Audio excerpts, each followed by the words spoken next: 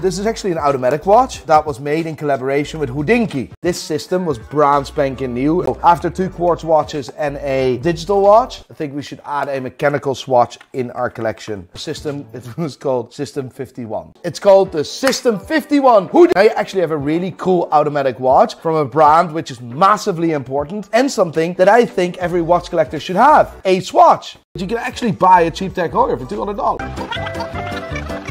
There's actually a watch called Marlboro. I found a Longines Conquest on Chrono24. Reference number L3716 something else. A steel dial Longines Conquest. For Longines. Pretty damn good. You wear the G-Shock when you do rough where you need to be a man.